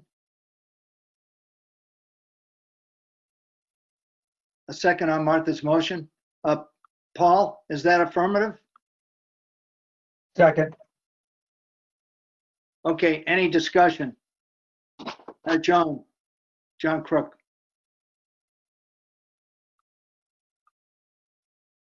Uh, my only discussion would be that it's fine sending this from the golf committee, but I don't want to, we shouldn't overlap what Roman is going to do as well. I think Roman has been assigned from the Board of Selectmen to respond to this individual or this family. And, uh, we shouldn't John, have, I've responded, I've already responded three separate times to them, uh, based on the selectmen's request. So I, I have responded to them. Uh, their, their, uh, their final request from a response from me was, uh, more than three weeks ago. So I've exhausted, you know, they've exhausted my resp- responses already. And now the conversations are going on, I think, without notifying me. So Okay, Um, There's, there's no, there's no need for me to respond further. so you feel that we should send something from the Golf Committee? I think it'd be a good idea because I, I believe, I- if I got you right, Clem, Larry Ballantine asked you to have a response. Well, uh, yeah, he, he, he really was confident that we had uh, the ability to respond and that if you think about it, folks, uh, there's a chain of command. And this individual has chosen time and time again to circumvent access to the committee. Now, Jack, if he's a, if you've talked to this individual, you know, unilaterally, that's fine, but uh, nothing formally has come to this committee not through the chair, a- as of today. Other comments? Uh, Steve Bellata. I agree with, with the comments from others, and I think it's fine if it comes from the committee. We make it short and sweet. We absolutely invite this, these individuals to attend the public meeting that we have in the fall on rates and fees and talking about tee times, et cetera. He or she or the whole family is welcome to come and make their comments. The one caveat I would make to all of this, and I don't know if we necessarily need to put it in the letter, but to Martha's earlier point, we have talked multiple times as a committee about this rate structure for Chatham versus, versus other towns. And we have made recommendations and we're moving forward. And as Martha put it, we make our recommendation and then it goes to the Board of Selectmen and the Board of Selectmen decide to do whatever they're going to do. There's still this tremendous lack of transparency where if we've made a recommendation and the Board of Selectmen choose not to follow that recommendation, I believe quite strongly that we owe it to all of the taxpayers and certainly all of the members to be able to say, we've made this recommendation and this recommendation was not approved by the Board of Selectmen. So then if these, this family wants to write letters to the Board of Selectmen, they could write letters saying, why aren't you following the recommendations of the golf committee? And, and that, that total lack of transparency of us deciding on something or recommending something, and then it falls into the black hole of going to the selectmen's meeting and not being followed, and we get no reason why. And we can't, and when, when queried, we can't respond if people ask us, why didn't this happen? We don't know. And that's Okay, just uh, not, Hey, hey, not. Clem, Clem, if I can, uh, if I can uh, interject, I think that they, the selectmen accepted the committee's recommendation last year. You and I presented it, and then the selectmen's recommendation was for a $25 increase, or the committee's recommendation was for a $25 increase, and it was accepted uh, last year. I know in previous years, there's been other conversations, but last year they did accept our recommendation.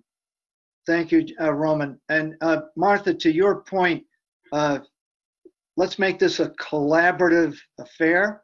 Uh, I will uh, author a- a rough draft, and with your collaborative input, uh, we'll, we'll put something together, circulate it to the committee, and with everyone's approval, you know, we'll then mail it to the appropriate parties.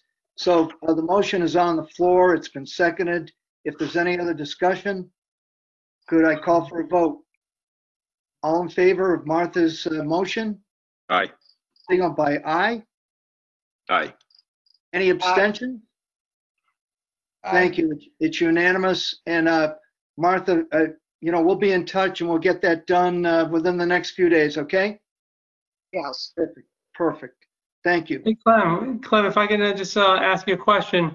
I provided a lot of uh, uh, data uh, regarding Chatham memberships. This Right. could all be pushed forward to the fall when we do the discussion, or would you like to review any of that now? Uh, I think I think that it's more appropriate this fall, Roman. Uh, You've given us uh, an inordinate amount of time, and I, I think it's, I, I think that uh, Larry Ballantine had a good suggestion, Roman, that uh, you could post that information for preview uh, on the town website, and uh, that way, for, for informed individuals, you know, they can access that, look at it in advance. How does that sound? Yeah, so the, just so the committee knows, uh, I, I submitted my monthly report to the selectmen last night, and they, their comment was, it was, it was all regarding tee times, and a lot of it was, um, the slides I showed uh, during the um, 10-minute tee time presentation showing how our revenue is and how the uh, um, distribution of tee times is this year compared to last year.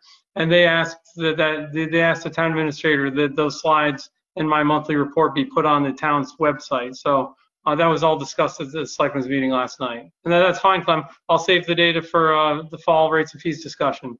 Yeah, I, I, I hope that meets everybody's needs.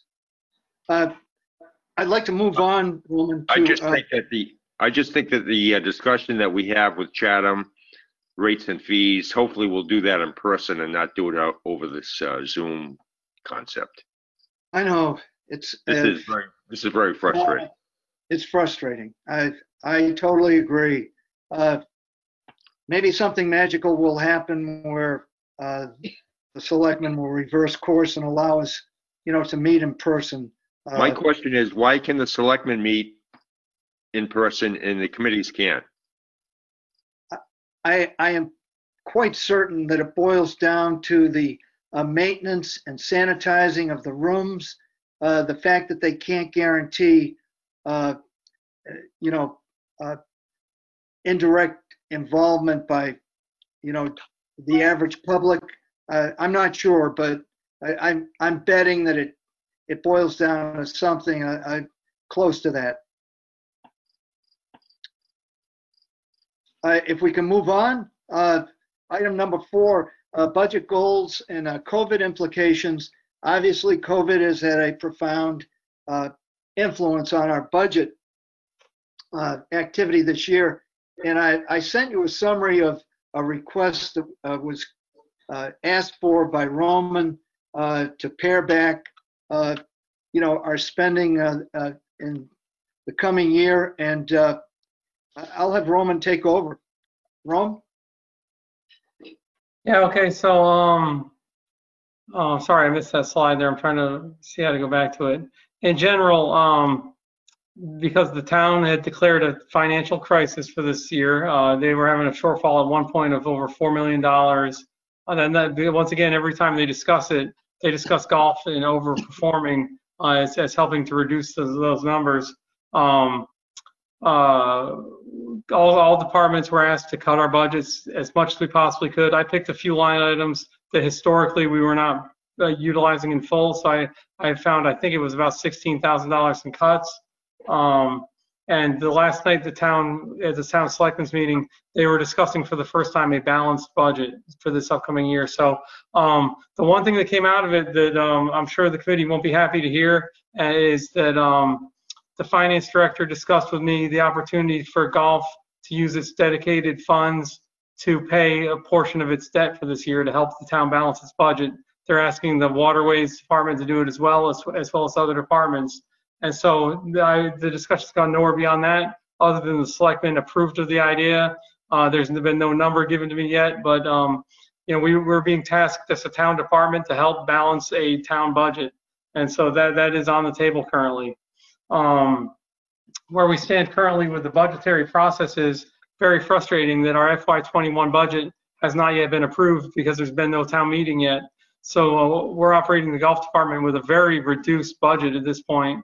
Um, there's the 112th uh, budget process, which you, you may have read in the newspaper, where each department's given basically a twelfth of their annual budget to utilize until town meeting approves the full annual budget, which again may be reduced by the finance committee.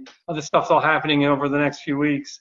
Um, it's been a really difficult process. The way I'm operating is the same as I operated in the previous fiscal year, which is you know, essential spending only. I, I, the um, um, the budget is so fluid and it's so bare bones at this point that I can't justify um, implementing large programs or large spending when we're only given a monthly budget.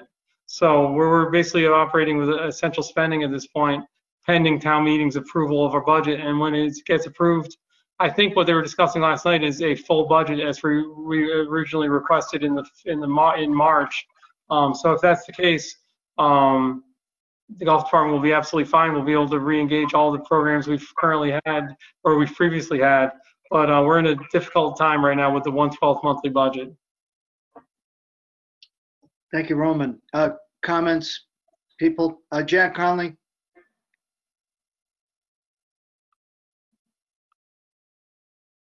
Jack, Roman, go ahead. Yeah, when, when this COVID stuff, um, started, you mentioned that a number of the, um, positions were being, were reimbursable. Like the guard at the gate and a couple of others, the rangers. Has that money made its way into our, our budget? Um, so we, we we basically file a, um, separate payroll for those positions, Jack, and they, they don't, they don't affect our budget at all. So they're, they're going directly to the CARES Act. So those are reimbursable and they're not negatively affecting us. Okay, thank you.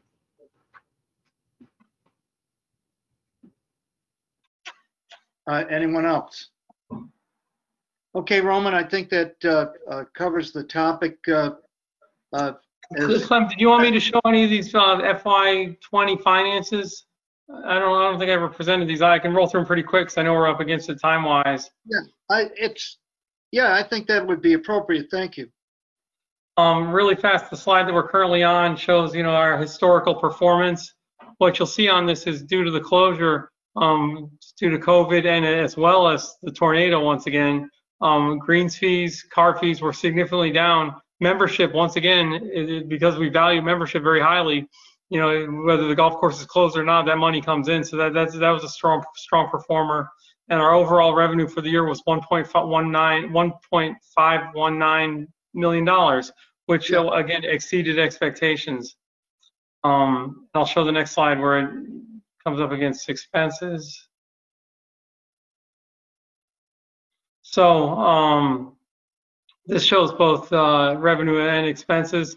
So once again, even with that redu- reduced revenue, um, we covered our expenses, not quite to the same margin we normally do, but you know, it, it was quite a task to do it because once again, the finance department and the finance director did not think we would achieve that. I, I think I think it's kudos to the golf department that we once again covered our finance, uh, covered our expenses.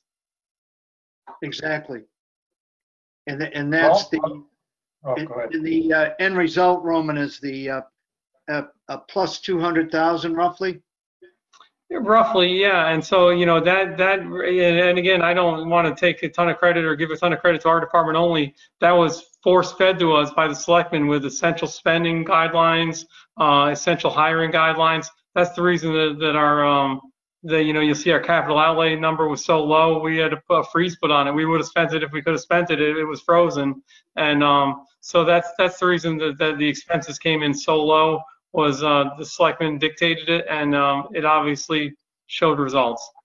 And, uh, Roman, just a point of clarification, because I, I, I tried to emphasize that with Jack. Uh, when you talk about salary and wages, that does include all fringes, correct? No, it does not. Oh, it doesn't. No loadings, no loading. It does not. So when we get into that mu- number I mentioned earlier, Clem, of about 2.1 million, that Oh. covers our, our, our golf course debt as well as uh, post post employment retirement benefits as well as um, um, uh, health insurance. All the all departments are covered in that separately of their operating budget. The, I got the you. only, only the enterprise funds pay that as part of their operating budget. Okay. Thanks for the clarification. Next, Roman, can I, I just ask one question? Yes. Capital outlay is not depreciation, it is capital expenditures, is that correct?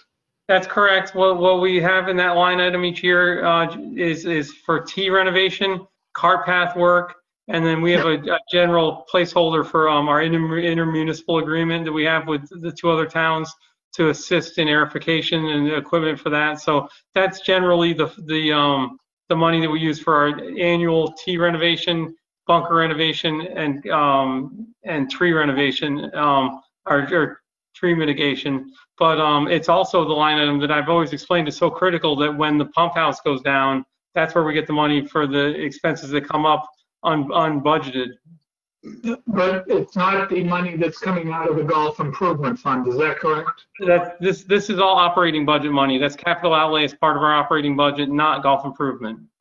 Okay, and w- w- does golf improvement fund make its way into this in, in any way? The- It's it, it it goes on a whole separate wing of finances, so I, it's not represented in any way in this chart. Okay, Okay, is that it, Ron?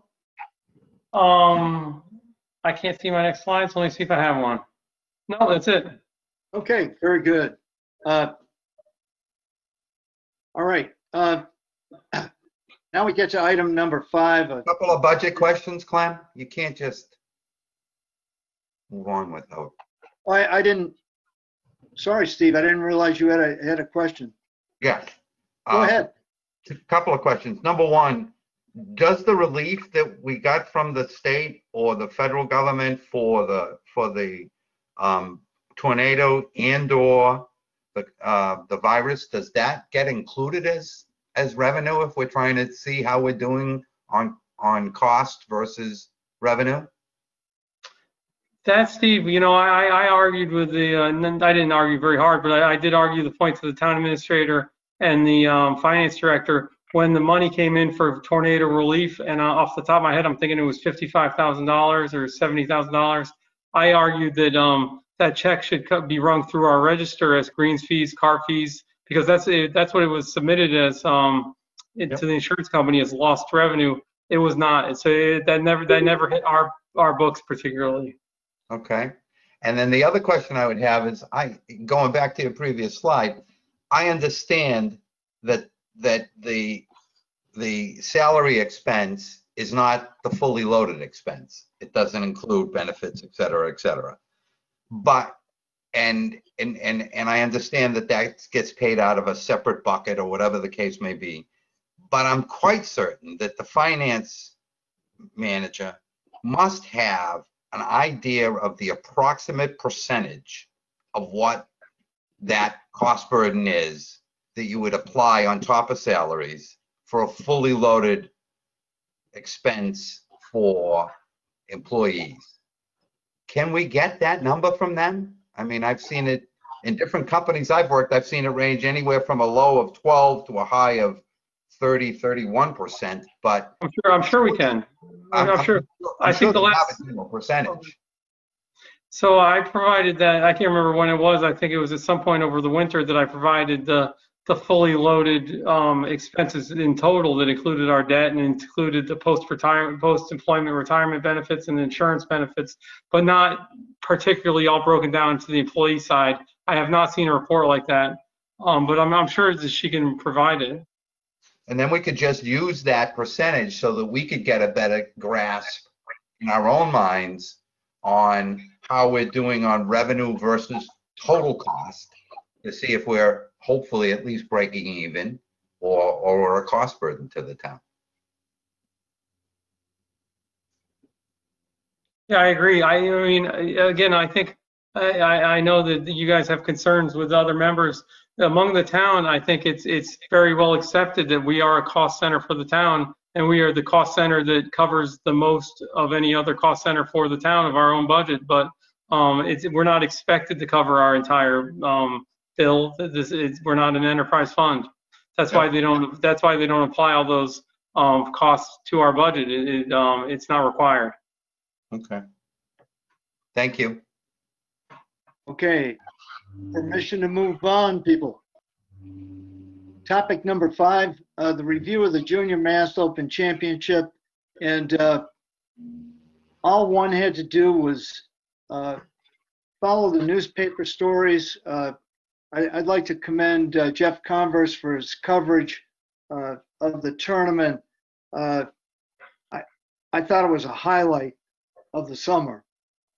So, uh, you know, Roman, if you just want to go through that quickly and then uh, anyone's comments, uh, I'd appreciate. Thank you. Absolutely. And well, once again, I mean, I, I think it's it's worth pointing out that uh, John Crook is, does run the tournaments for Mass Golf uh, the chairman for the championship. So he oversaw the tournament uh, on his own. But uh, Mass Golf is wonderful to work with. Uh, you know, we have so many events at Cranberry Valley with Mass Golf that it, it's it's very easy.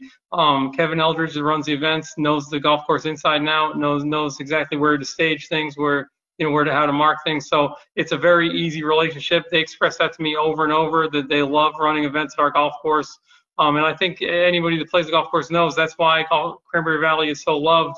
You can show up there and not knowing the golf course, it's fairly open. It's player friendly, so it, it was it was a perfect event for uh, or venue for the event, and and we worked very well with Mass Golf.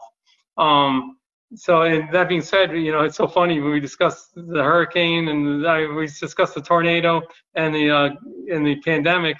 Here comes this event we've had on the calendar for years, and here comes the hurricane. So we needed to activate a contingency plan. I, I, I imagine John was on some level involved in that, but I worked with Kevin Eldridge from Mass Golf to modify the, the plan for uh, in case there was a hurricane.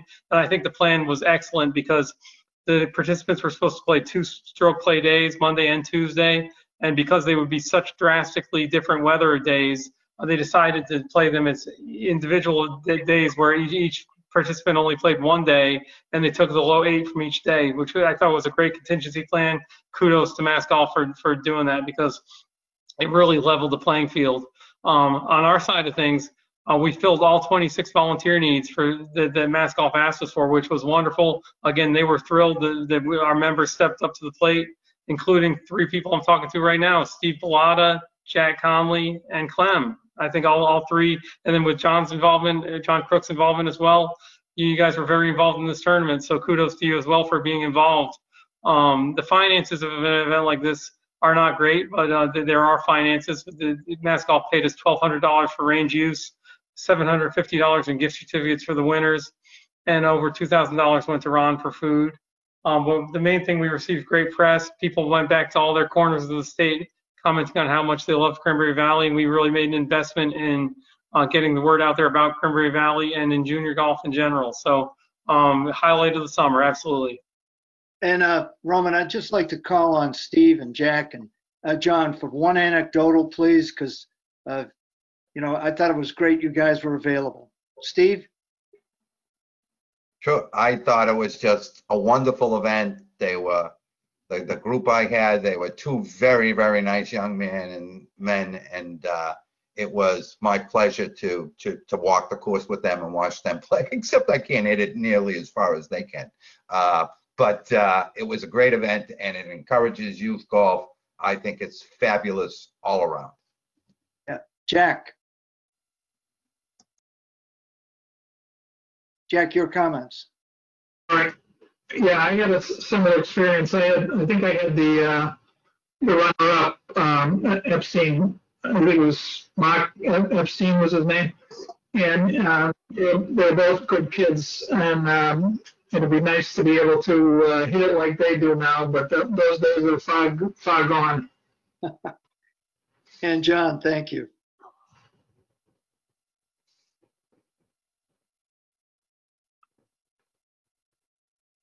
John, uh, John? Any Yeah, I think comments?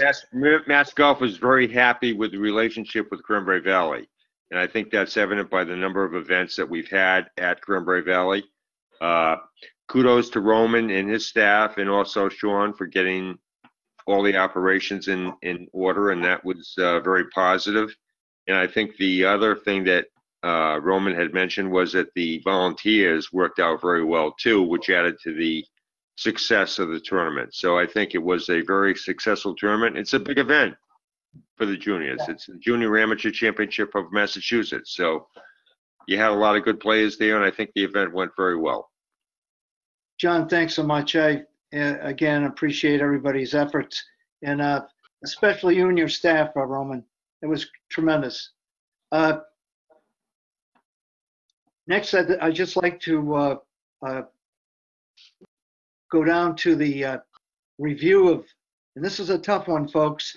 Uh, And Roman, I want you to uh, address the committee with uh, something that's, was approved at, at town meeting. And of course, it gets mixed reviews, but the town's capital plan, the reason why it's in, incumbent upon us as a committee to review this completely is because we have to set priorities.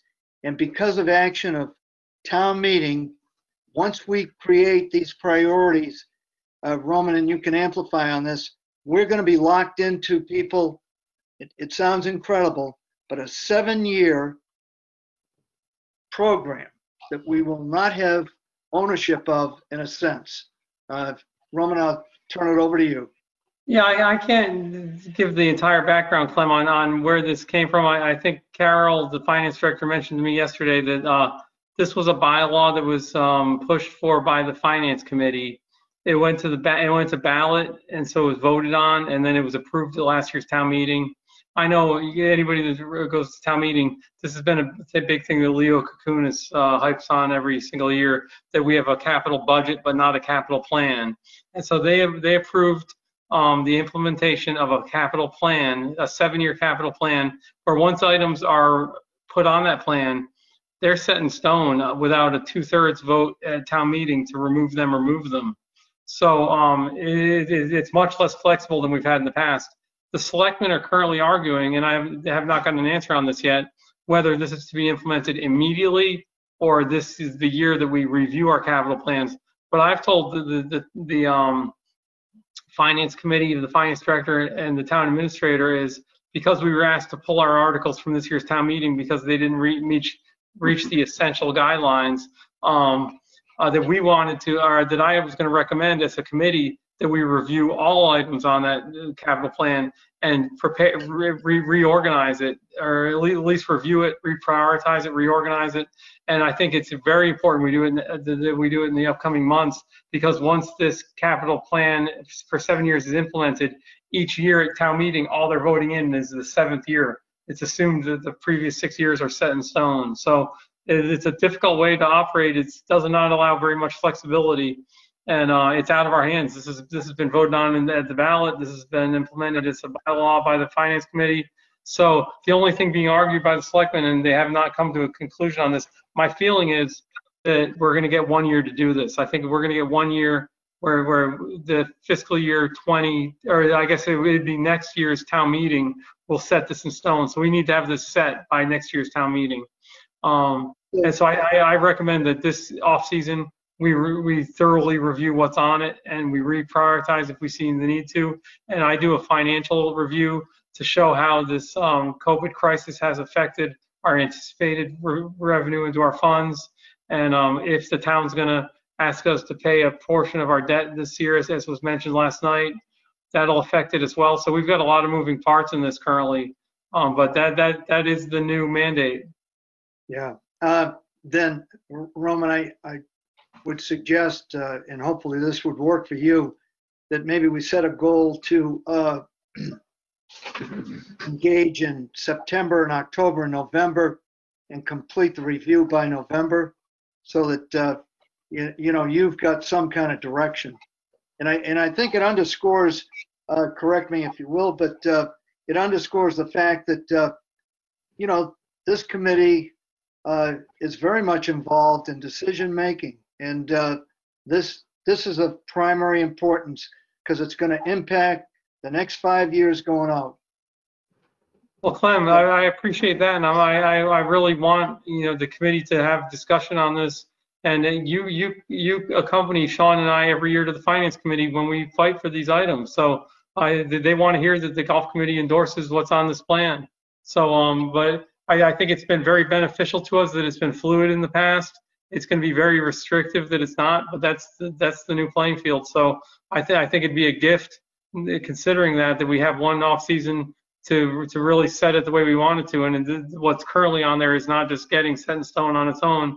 We we, we have a few months to or half a year to set it the way we want it to before it's set in stone. So it's going to require a financial review, and I'll, I'll um, you know definitely ask for you know a creative brainstorming session. Let you know let's let's come up with what's not on here that we may need in seven years. I know I've talked to Clem, Sean. We one thing that's not on here whatsoever is a generator, a backup generator for the golf course. So um, you know we've we've tried pricing those out. I've got a um, quote from Sean Libby that a that a um, a generator that would operate the golf course uh, irrigation system um, for an extended period of time if needed would cost about a quarter million dollars. They just did one at the um, at the library for 130,000. So, and the one at the library, Sean Libby thought was about half of our need. So, well, he, he's looking into that for us to get a more real number. But um, I think that when we start looking at, I think especially in the financial crisis we're currently in, I think we our our plan would be overly scrutinized and maybe should be if we're looking too much into designing the three-hole practice facility and putting course when we're not also looking at infrastructure needs. Because uh, very quickly, a question can come to that design um, and say, that's going to just cost money and not generate money, whereas it doesn't generate value. So I, I think I think in the current environment that's uh, so um, money conscious, um, infrastructure needs may be a higher priority, and I, I think they should be. Yeah, uh, you know, uh, in our discussion in the post-tornado uh, event and so on, I, I know that we did reference, uh, you know, the enormous need for uh, generation uh, capabilities because, uh, to my knowledge, we're about the only uh, department in town that does not have that kind of reliance. I, I'm pretty certain that highway and even harbors and waterways, you know, has some infrastructure built in. So I, I you know, I, I can't believe it's a quarter million dollars, but if we have to bite the bullet, we have to bite the bullet. Uh, it'd be a topic that would be uh, a companion people to uh, uh, engagement with our Green Skies uh, outfit as well. Uh, they may have some inside track, Roman. You never know regarding, uh, you know, generation equipment. Jack, I We've talked see your hand up. past- We've, Clem, we've talked to them a bunch in the past about, um, you know, battery packs, and it sounds, uh, as far as the electric goes, and it's cost Yeah. prohibitive at this point. You never know if the technology is going to move forward, but as far as ba- battery pack system uh, attached to solar, they said that was cost prohibitive. Gotcha. Jack, Yeah, well, and I I assume, and and I'm, I could, don't know, but that most of this money on this list that you have is, is intended to be funded through the Golf Improvement Fund. Is that the case? So if you see it, uh, you know, the items on it that are marked GIF, those are, those are golf improvement fund, and then budget is the line item you just asked me about, um, Jack, that's the, um, capital outlays line item in our budget. So you include capital expenditures in your budget as well as the Golf Improvement Fund. Is that correct? Uh, so, um, um, so you remember you just asked me a moment ago about the capital outlays rec- Yeah. representation? So that's, that, that seventy-three thousand we've had each year. The, um, projects, the, the big projects we're doing out of that are represented here on the capital request plan. So if it says budget, that's out of that line item in our budget. The ones that are marked GIF are from the golf improvement fund completely separately. Okay, and we could have a a commensurate organization of how much is actually left in the golf improvement fund, how much we anticipate putting in each year, and, and see how it jives up, because conceivably, you might be able to take some of that money out of your budget if, if we can do that correlation. Yes, absolutely. So, I mean, when we, when we as a committee built this last year, I did all those, I did all those presentations of exactly this, this, um, capital request, uh, sheet right here, uh, was formed at our committee last fall based on anticipated revenues. And that, that's one of the reasons I wanted to, um, step back and review just to see where, you know, where the revenues are based on the closures we've had in the past year, but, um, and see how they affect them. But based on the, the, everything on this list was to be funded by Golf Improvement Fund or budget entirely. Right, but does it, does it completely consume the uh, golf improvement fund? I think we're, we're taking seventy-five dollars a person for the golf improvement fund, is that correct? Currently, it's 95. That was boosted up last year to 95. And uh, Okay. so, you know, I, I, can't, I don't have those numbers in front of me, Jack, but in general, if you look at this capital request form, um, we were going light for a few years here uh, to build up enough money to um, do the um, tee renovation in FY21, uh, I'm sorry, FY25 and 26, because those are about 150,000 each year for two years. Uh, we Okay. needed to build, build, build a little revenue in that to ta tackle that big project. And then, you know, once again, uh, as far as infrastructure needs, the irrigation upgrade that we discussed last fall putting on here, um, Sean can break that down a number of different ways, and we've we've got to really scrutinize that when we put this together because um, that we had that on there for beginning in FY22 and going for seven years, I believe, at $75,000. So that that's one of those that we can chunk out however we want to chunk it out. Sean can basically do a leg at a time, and a leg in a lot of cases averages about two holes. So you can kind of do two holes at a time the way he's got it um, um, chunked out there, but we can review all this. I, I recommend we review all this. Based on eleven hundred members, we're probably averaging a hundred thousand, hundred ten thousand dollars a year in. in Yes. funding. I, I think it's right around 100, Jack. Oh, right, a hundred, okay. John Crook, you had a comment? No, I did. Okay, uh, anybody else? Okay, Roman, we'll, uh, look forward to, uh, a, a phase one, uh, of review for, uh, the September meeting, okay? Great. Uh, and that, uh, uh, takes us to item number seven under new business. Uh, the last item, the USGA visit and, uh, the- the status of the visit. Uh, as I, uh, indicated, uh, to the group, and, uh, sorry about the short notice, but it was short notice. The good news is that it's going to be included. Uh, it's this Friday. It's 8:30. Uh, because of COVID, uh, protocols, requirements, et cetera, I, I think it's uh, incumbent to limit it to the committee only.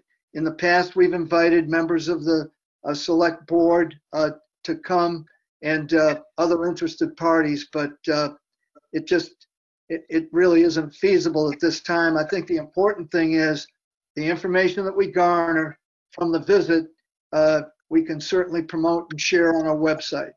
So, uh, any questions about the visit? All right, uh, I'd suggest, uh, by the way, that, you know, we get there, uh, in timely fashion so that, uh, the timetable starting at 8:30 can be, uh, adhered to closely. And, uh, Clem, Clemens, a note, um, we normally hop in carts together. Once Yeah. again, please remember, we've got to be in individual carts, so I'll have a bunch of carts staged for us. Everybody's going to ride their own carts, seeing as nobody on the committee lives together. So individual carts on Friday, please. And, okay, thank you, Roman. Uh, And that is important to, uh, uh, you know, take note of. Uh, And finally, uh, under old business, it's a carryover from uh, a discussion uh, at our last meeting. And uh, uh, basically, it's uh, a draft of a letter that's been kind of condensed uh, with uh, uh, John Crook's approval. uh, in a, in a possible vote if you uh, choose to send this on to uh, Mr. Ballantine. Everybody has a copy of the letter. Uh, I'd open it up for discussion uh, if, if you're uh, so disposed. So regarding uh, the letter, it would uh, require a motion to uh, uh, send this letter on to uh, Mr. Ballantine for consideration. Uh, So discussion first and then a motion if, if you feel so disposed. Anybody?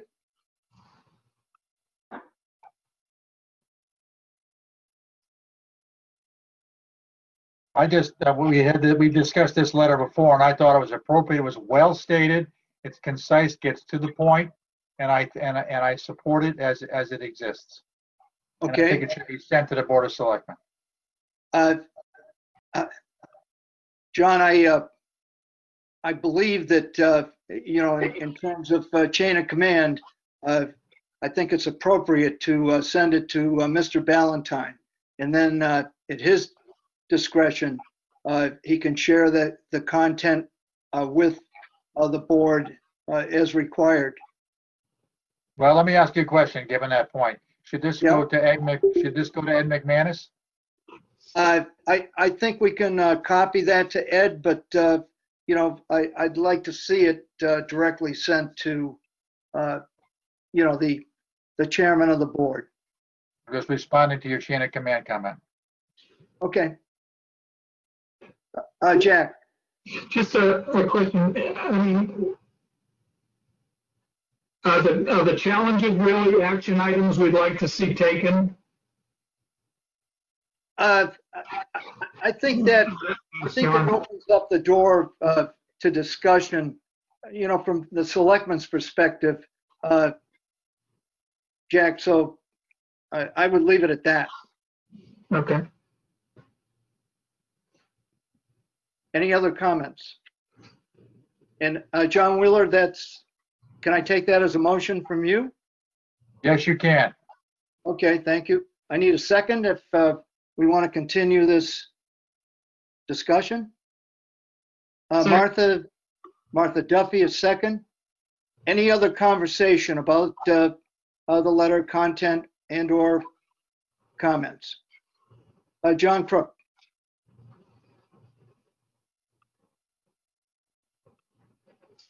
Need to unmute him. sorry, sorry, John. Go ahead. You're on, John. Still muted. There it is. I, I think since this letter has been uh, wordsmithed a few times, I think, or, uh, I think it has to be taken a look at in terms of, I don't like the way it flows, but I mean, I think it needs to be wordsmithed a little bit. Okay. Would But you I'm- like to, uh, It's, ba- it's basically the same thing, but Yeah. I think it just has to be wordsmith.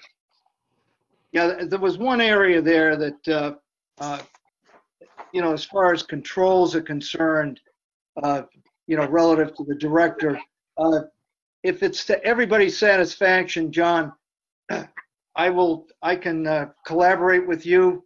Uh, We'll get a final draft uh, circulated to the, to the members, to everyone's satisfaction, and then we can, uh, you know, send that off if, if that, if that resonates with you. That's Are fine. you asking, are you asking me to remove, remove the, uh, on the motion, uh, No. until such time as that's been completed? Uh, I would, I would say approve the motion and we're just gonna wordsmith it a little bit. And Fine with me, every- John. everybody will see it before it goes. Fine with me, John. Okay, uh, uh, Paul White, Um, First of all, um, this is my first meeting, so I, I have to rely on uh, past history and the experience of this committee. But as a new member, as I looked at this letter, I was a little bit concerned that it was, uh, well, to, to some extent, it's confrontational, uh, and maybe that's necessary. I don't know. I just don't know the history the way you folks do. Um, But as an elected official, I would be a little bit put off um, if, if I thought folks were telling me how to do my job. Um, but on the other hand, you know, I'd, I'd like to know, you know, what has contributed to, to this moment. Because as, as John Crook has said, apparently this letter's been worked on for a while and it's been wordsmithed. But I feel an obligation to at least share my freshman reaction to this. And if it's unwarranted, I respect that, but I, I, I wanted to at least raise that point. Paul, thank you for that input. Any other uh, concerns or comments? Okay, the motion on the floor, uh, uh, presented by Mr. Wheeler, uh, John Wheeler, and seconded by Martha Duffy, correct? Martha, that's a second from you. Uh, Second this. All- All in favor? Aye. Aye. Any opposed? Okay, it's unanimous, and uh, we'll get that final draft in everyone's hands. Uh, John, thanks for that input, and, you know, in general, everybody's input. Uh, We covered a lot of ground tonight. Uh, It's 6:02, and uh, thanks to our friends in the clerk's office, uh, we had electronically the platform that the fire uh, safety people have dedicated to them.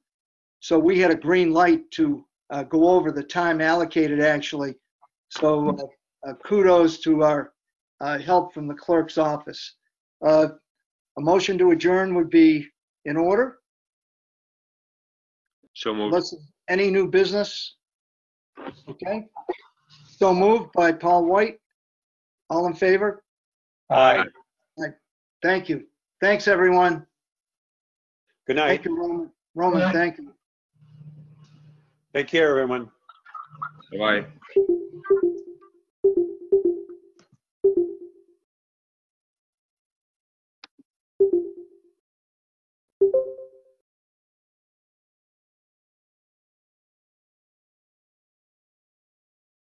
This con-